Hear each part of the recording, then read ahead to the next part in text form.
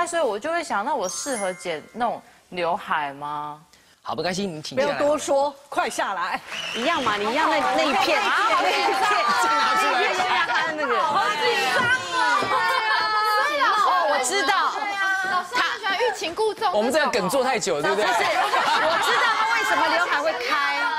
刘海会开的人是不是因为他的额头比较后面？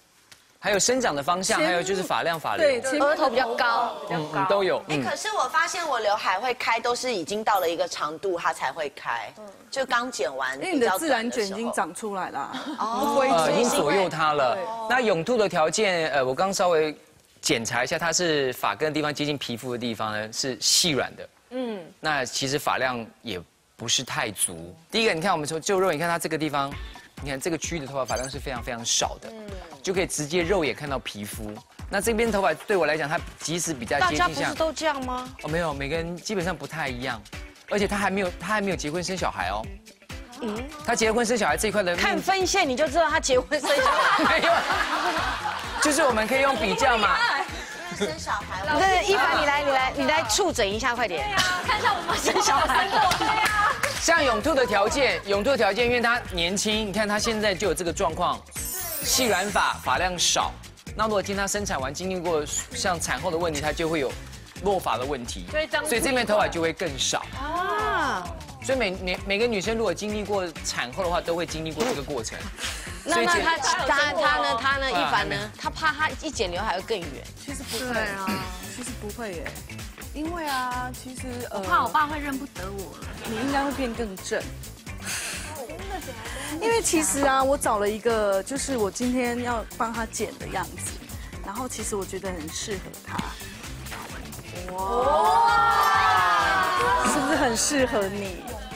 有啊，可能可能可以，因为其实确啊，定剪完剪完不会变菲菲？不会啦，因为其实呃，伊凡他的头发其实是一样，就是像老师讲的，其实他前面这一段是比较短一点点。你看他只有这样短一点点，所以等下我们帮他剪的刘海是要借由后面的头发来往前，然后让它有重量掉下来，它就不会开开的。哦，对，那如果是照他原来的发量，那他怎么剪一定会开，就没有那种厚厚甜美的层次。对，不错啊，我觉得他剪刘海，好羡慕你哦。对对，，好好哦，对啊被剪他们两个默默的。帮伊凡做的剪完那个刘海，在上面的地方会帮他做一点点假的层次，因为假的蓬度。其实伊凡啊，其实他都很好，但是就是前半部这个地方，它很容易是往前的，那就会让这里没有那么有蓬度。那等一下我们帮他做一些层次在上半部的话，其实他的脸型就会完全不一样。对，侧面会比较有。蓬松感。会好。他眼睛瞪好大，对啊我眼睛本来就那么大，我没有在瞪你。这句话好熟悉哦。这是你的心声吗？我就已经上面这里帮他剪那个假蓬度假厚度假蓬度已经出来了，那你就会发现其实他的头就不会像刚刚是这样这么掉下来。对，然后其实他后面的发量很多，可是前面的发量其实没有那么多，所以现在你从侧面看的话，我们在做的时候，有时候如果你自己要在家里剪，你怕就是呃剪起来会很呆的话，你可以在最上面这个地方自己拿一撮。然后起来把长度剪掉，嗯因为它放下来就会有自然的蓬度，真的啦，就是只要这个地方就好了。这很难吧？因为不然你们剪起来都会齐齐的，嗯，就会比较齐。随便一撮，所以就中间你想要蓬的这个地方，对，不会剪坏。不会，我们可以试看看吗？可以啊，你可以来试啊。你不要剪我，哦，OK 啊。没，有这么 有必要这么残忍吗？不会，因为我会帮你，我会帮你那个修整，对，我会帮你修整。然后因为其实等一下啊我们剪完，等一下会帮他用一点点头发会有一点弧度，那他这样子他的头看起来就不会就是这里那么的宽，对，就不会那么宽。然后边边我会帮他再做一点点层次，一点点去做衔接就好了。而且有瞬间年纪变小。对，而且脸变得好顺哦。对之前那个颧骨以前比较高，是多卡，之前有颧骨比较高，现在整个脸是顺的。但是呢，我们在它里面头发的内部靠近脸颊这个地方的头发，我们先分一小块，也是先剪短一点点，因为这可以帮它做一个很隐形的效果。然后上半部比较长一点的话，它就这样盖下来，嗯好小哦对脸，。它的脸就会变得瞬间很小。而且那它尖了，对，而且它即使是侧面，其实我们这样子我们刚刚帮他做的那个隐形的刘海，就会盖住他的太阳穴凹的这个地方。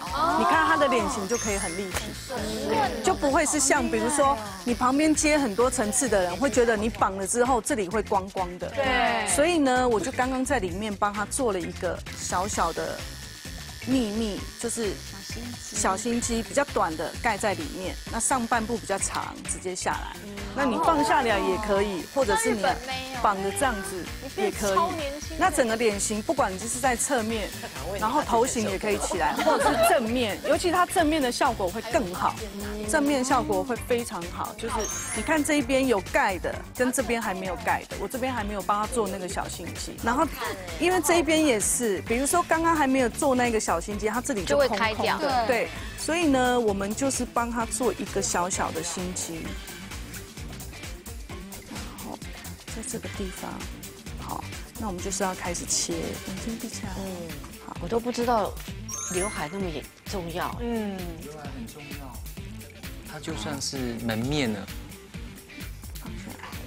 你看它这样子就没有动，你看它的侧面就没有动，就自己都有弧度。那我们绑的时候，你看它那个空空的，本来是在这里的空空的，嗯，它就不会有。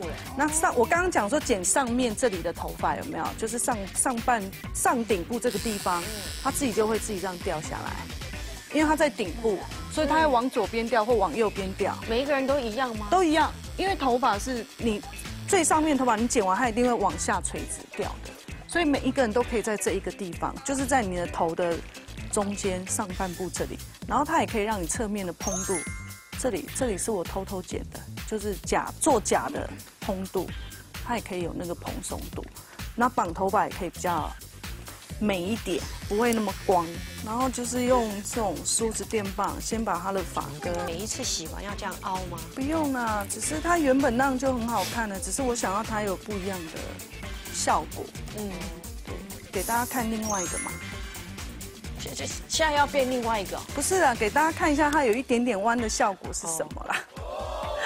所以他刚刚剪完那也是。对啊，就是说洗完头吹干是一个效果，对有加弯弯的是一个效果。对，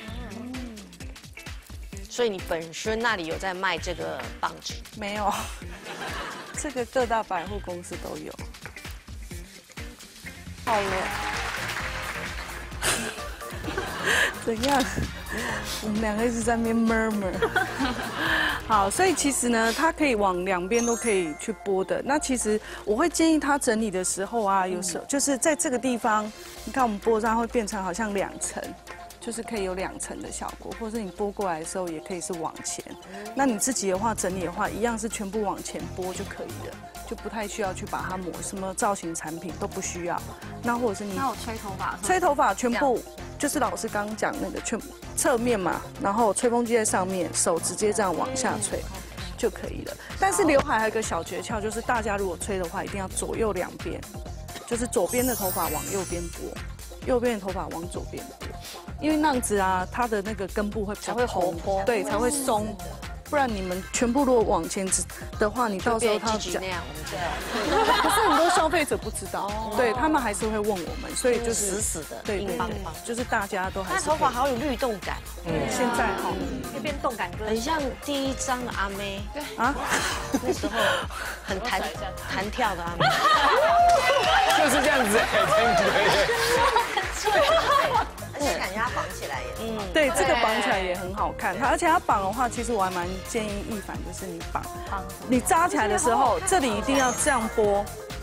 因为我帮他剪的是这里有一些假的层次藏在这里，所以呢，你绑起来的时候这样子，然后一般通常扎起来女生会就是头顶会死死的嘛，对，而且这里会开掉。对，绑起来好好。然后这样对不对？你全部扎好了，然后呢，你的侧面拨，它这里就有松度，对，对，然后侧面都不会，正面也很好看，嗯，拨一下，反而脸型会比较小一点，对。而且很尖，脸型会非常尖。